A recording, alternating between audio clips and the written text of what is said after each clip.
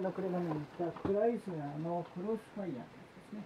アメリカを共通する独特の個性とデザインでヨーロッパは世界戦略のテクノロジーとパフォーマンスが理想的な形で総合したツーシータースポーツクループクライスラークロスファイヤーロングノーズのそばのエンジンは3.2リッター V 型6気筒オールアルミ製 SOC18 バルク。最高出力218バルク5700回転。最大トルクは 31.6kg を発揮す。る自動変化機能またはマニュアル感覚を操作を楽しめるオートスティック機能付き電子制御式ボタンオートマチックトランスミッションを組みません後輪を切ります全長4メートル少しの四角でコンパクトなボディは0.37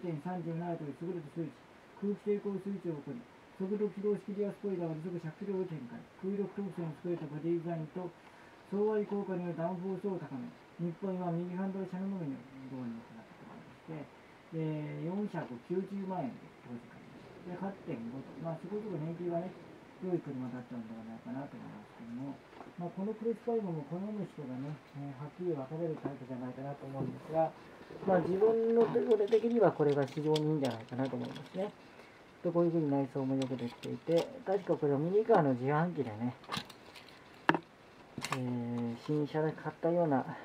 新車で買ったような記憶がありますね。まあ、なかなかこういった車というのも、えー面白みがあってね、